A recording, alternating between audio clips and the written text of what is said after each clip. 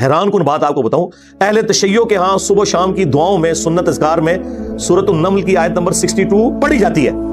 तर्जमा नहीं कभी किसी ने पढ़ा? और हमारे जिन स्टूडेंट्स ने पढ़ा, जो शिया मकतब से ताल्लुक रखते थे, क्योंकि मैंने इस आयत को इतनी दफ़ा कोट किया। उन्होंने कहा, हम तो ये सुबह शाम पढ़ते हैं, तर्जमा पढ़ा तो उन्होंने कहा, यार, ये आयत पढ़ के भी सबसे ज़्यादा शिरक हम कर रहे थे, क्योंकि उस आयत के अंदर क्या लिखा है?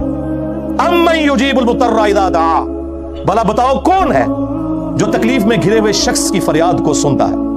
और उससे उसकी बुराई को तकलीफ़ को दूर कर देता है। और तुम्हें अगलों का खलीफा करता है ज़मीन पर। तुम्हारे माँ बाप के मरने के बाद तुम, तुम्हारे मरने के बाद तुम्हारी औलाद को। अल्लाह क्या अल्लाह के साथ कोई और मबूद भी है?